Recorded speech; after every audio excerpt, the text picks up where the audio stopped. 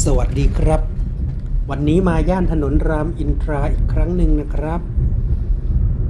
จะมาตามรอยรถไฟสายสีชมพูนะครับ ซึ่งเป็นรถไฟฟ้าสายเริ่มเลยนะครับ จากตั้งแต่โน่นเลยรัตนาธิเบศรนะครับ มาจนถึง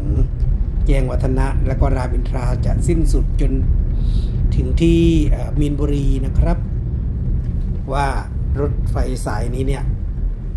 ไปถึงไหนกันแล้วนะ เห็นบอกว่าจะเปิดใช้ภายในปีนี้นะครับ ก็เลยมีเวลาว่างนะครับ โอกาสดีๆ ก็ลองมาตามรอยดูนะครับว่า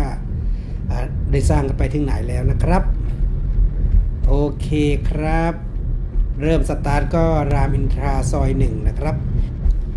ช่วงมหาวิทยาลัยเกริกนะครับ แล้วถัดมาก็จะเป็น รามเซนทรันรามอินทรานะครับ ซึ่งเพิ่งเปิด อย่างใหญ่โตโมโหรานแล้วก็เมื่อสักครู่นะครับเพิ่งผ่านมานะครับ ซึ่งหลังจากรีโนเวทเสร็จนี่ก็มีคนเข้าไปใช้บริการเยอะเลยนะครับ แต่ในส่วนของแอดเองก็ไม่ได้เข้าไปหรอกเพราะว่าช่วงนี้ยังเป็นช่วงคนเห่ออยู่นะครับเพิ่งเปิดใหม่ๆก็เลย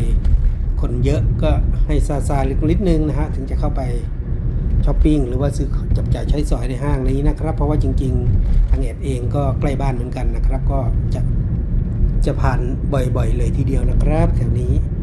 ช่วงนี้เหมือนว่ารถชะลอหน่อยนิดนึงนะครับ เหตุผลก็คือจะมีทางเลี้ยวเข้าไป ถนนลาดประเขานะครับ ถนนถ้าขวามือเนี่ยที่รถ ชะลอหรือว่าติดนิดๆอย่างที่ท่านผู้ชมได้ดูนี้ก็ถ้าเลี้ยวขวาเนี่ยจะจะไปถนนลาดประเขานะครับ ในช่วงที่ผ่านมาเมื่อสักครู่นะครับ ทางด้านฝั่งอ่ายมือเนี่ยหลังจากผ่านเซ็นทรัลรามอินทรามาก็ถ้าเป็นในช่วงของฝั่งด้านขวามือก็คือ สนามกอล์ฟ ของกองทพบกนะครับ แล้วก็ต่อมาด้วย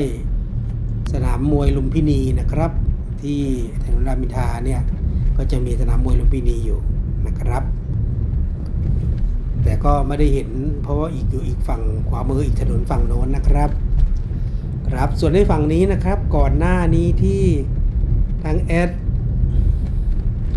เข้ามาอยู่กรุงเทพใหม่ๆนี้นะครับ ในช่วงนี้เนี่ยฝั่งซ้ายมือเนี่ย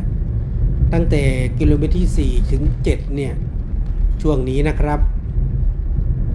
ยังมีการทำนาอยู่นะครับ รถเมย์ที่ผ่านแต่ก่อนนี้เหมือนว่าจะมีที่เคยใช้บริการก็มีสาย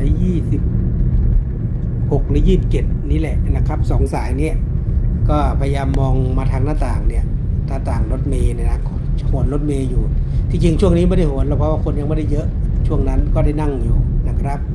ก็ก็มีการทำนากันหวานข้าวกันอยู่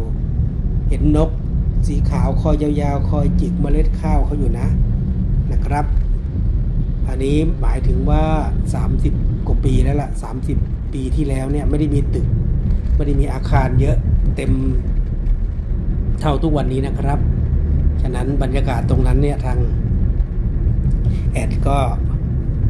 ทันนะครับครับ ช่วงนี้น่าจะเป็นกิโลเมตรที่ 4 นะครับ รามอินทรามอินทากม4เนี่ยตรงนี้ยังไม่มีค่อยเรียบร้อยนะครับ มีเบรีเออร์ยังเต็มอยู่แต่ว่าถนนที่หรือว่ารางรถเนี่ยทำเสร็จเรียบร้อยนะครับครับเนี่ยข้างบนเนี่ยทางไปทางด่วน ไปแถววัชรพลนะ นะครับครับ อันนี้ก็อย่างที่เหมือนเคยเกริ่นไว้นะครับว่าในทุกๆสถานีขึ้นลงของผู้โดยสารรถไฟสายสีชมพูยังไม่ค่อยเรียบร้อยนะครับ ก็กำลังก่อสร้างกันเรื่อยๆนะครับ